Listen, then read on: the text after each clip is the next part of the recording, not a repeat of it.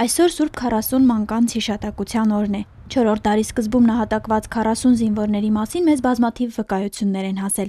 Ըստ այդ վկայությունների նահատակված 40 զինվորները փոքր հայքի տարբեր քաղաքներից էին եւ ծառայում էին Սեբաստիա քաղաքի կայսերական գնդում։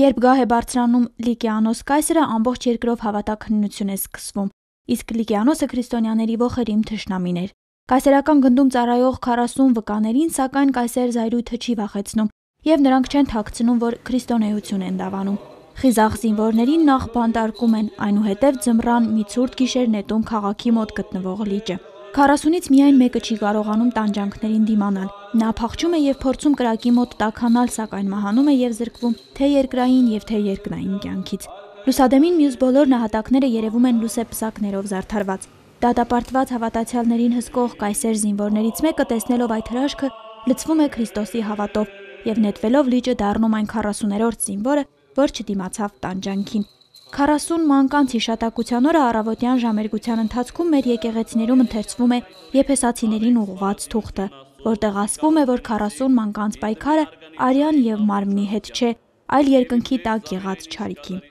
Ես խնդրում եմ, աղաչում եմ առ Աստված, որ մեզ էլ դարձնի այդ զինվորներից մեկը, որտեղ մենք էլ այսօր ակամա մեր եղբայրներին, մեր քույրերին, մենք բամբասում ենք, մենք խռովված ենք, մենք սրտի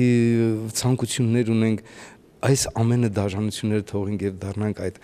զինվորներից մեկը որ վերադառնանք Տիրոջը գնանք այո չարչարանքի միջոցով ստանալու այդ դափնե պսակը որը Տիրոջ կողմից տրվելու է մեզ բոլորից դատաստանից հետո Քրիստոսի հավատարիմ 40 զինվորների նշխարները հետագայում ամփոփվում են Սեբաստիայում, որտեղ կառուցվում է 40 մանկունք 40 գմբեթանի տաճարը, որը Լենգթեմուրի արշավանքների ժամանակ ավերվել է։ Այս զինվորների պատմությունը հորդորում է կյանքի բոլոր դժվարությունների մեջ անգամ հավատարիմ մնալ Քրիստոսի հավատին, հաղթահարել բոլոր գայթակղությունները երկնային պսակին արժանանալու համար։